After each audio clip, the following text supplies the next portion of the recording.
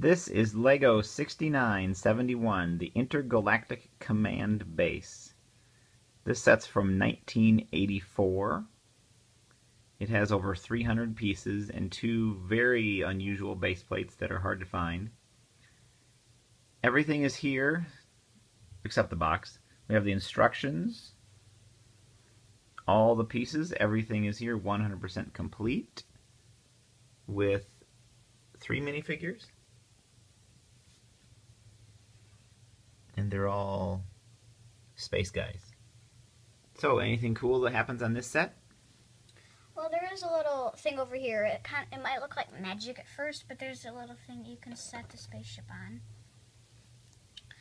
And um, not a lot of this, not a lot that happens in the middle, but there are some a lot of things that look really cool, like some translucent flats and things in there.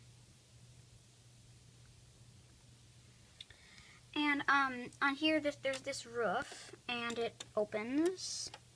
So then you can slide the rocket in, and it can be launched from different spots.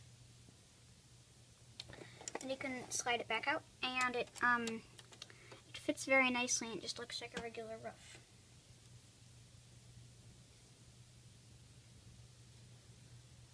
And the yellow glass, which is plastic, of course, we don't see that very often either Yeah. in any of the sets. So, 69, 71. Thanks for watching.